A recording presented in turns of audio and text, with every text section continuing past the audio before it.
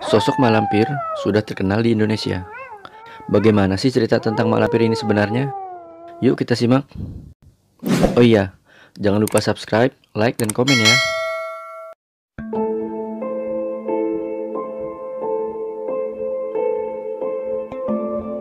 Siti Lampir Maimunah Itulah nama Malampir yang sebenarnya.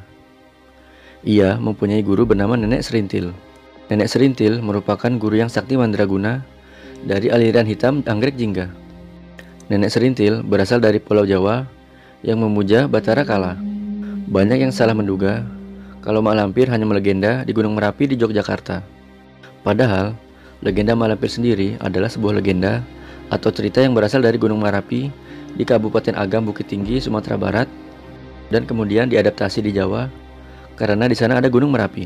Namun, banyak versi lain yang diragukan keakuratannya karena telah disesuaikan dengan daerah-daerah tertentu. Legenda Malampir ini juga sangat berkaitan dengan legenda tujuh manusia harimau yang juga berasal dari Sumatera Barat. Siti Lampir Maimunah merupakan tokoh putri dari kerajaan kuno, yaitu Champa, yang diambil dari bahasa Vietnam yaitu Cintam dengan arti kerajaan yang pernah menguasai daerah yang sekarang termasuk Vietnam Tengah dan Selatan yang diperkirakan antara abad ke-7 sampai dengan tahun 1832. Pada dasarnya, pada waktu dewasa, Siti Lampir Maimunah ini adalah seorang gadis yang cantik dan baik, namun sangat pemalu seperti wanita pada umumnya. Saat dewasa, ia juga pernah merasakan jatuh cinta dengan seorang pemuda. Sampai suatu hari, Siti Lampir berjumpa dengan seorang pengembara yang dipanggil Datu Panglima Kumbang, yaitu seorang bangsawan yang bergelar Datu. Disebut Datu karena ia adalah panglima dari pasukan alam kegelapan. Saat itulah cerita pertama Siti Lampir jatuh cinta kepada seorang pemuda, yaitu Datu Panglima Kumbang. Namun, tidak ada yang tahu pasti siapa nama pemuda itu. Namun yang jelas, sang pemuda juga diam-diam suka kepada Siti Lampir, walaupun tanpa sepengetahuan sang putri. Walaupun mereka berdua saling suka, namun hubungan mereka ini tidak mendapat restu dari kedua orang tua Datu Panglima Kumbang. Hal ini membuat sang putri sakit hati. Karena sakit hati itulah, maka sang putri pergi bertapa ke Gunung Marapi. Saat pertapaan tersebut, sang putri bertemu dengan seorang maha guru.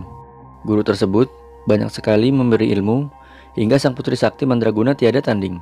Akhirnya, sang putri pun mendapatkan julukan Mak Lampir dari warga sekitar gunung yang ketakutan mendengarkan namanya.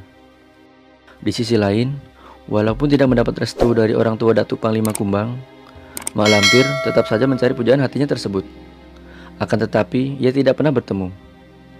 Hingga pada suatu ketika, Mak Lampir dan Datuk Panglima Kumbang akhirnya bertemu. Namun mereka bertemu dalam medan pertempuran. Dan sayangnya, Datuk Panglima Kumbang tewas dalam pertempuran tersebut.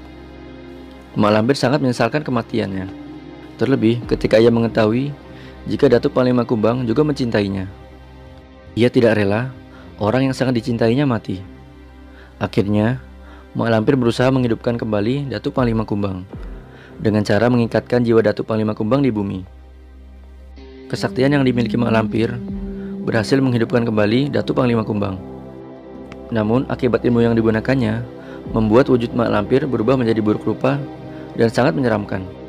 Walaupun dengan wujud tersebut, Mak Lampir berharap Datuk Panglima Kumbang tetap mencintainya dan menerimanya dengan tulus.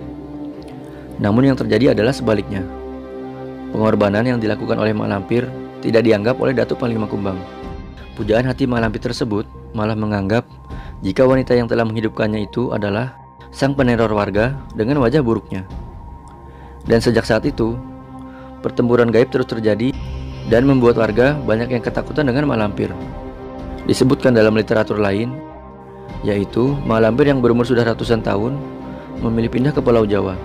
Tujuan pindah ke Pulau Jawa tersebut adalah untuk membuat ilmu yang dimilikinya semakin sempurna. Di Pulau Jawa, dia bersemayam di Gunung Merapi dan mendirikan sebuah kerajaan gaib yang sangat luas.